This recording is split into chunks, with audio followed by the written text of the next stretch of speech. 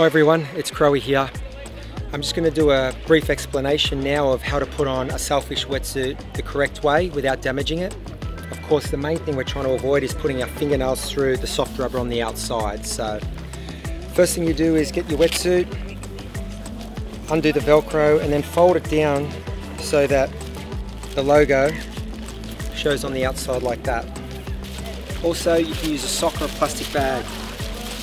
It just helps your foot go through the wetsuit a lot easier. So you grab the wetsuit from the always on the inside.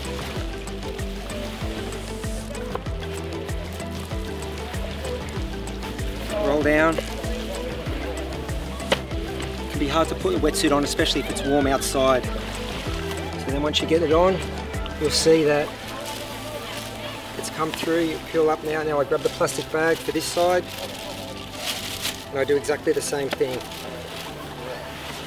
slide through, roll down.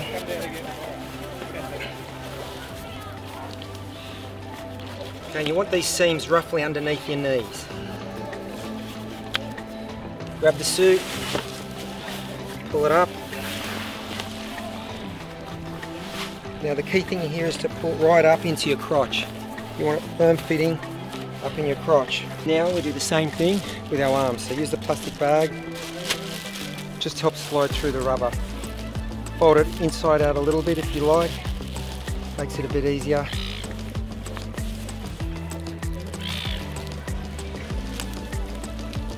Perfect. Got the plastic. Now on the left arm the same.